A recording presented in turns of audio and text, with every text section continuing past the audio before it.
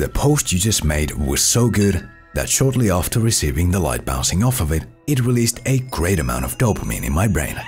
Nowadays, the normie memes may amuse the common Facebook sheep, but as a sophisticated internet culture king, seeing them is like staring into a black hole of pure excrement.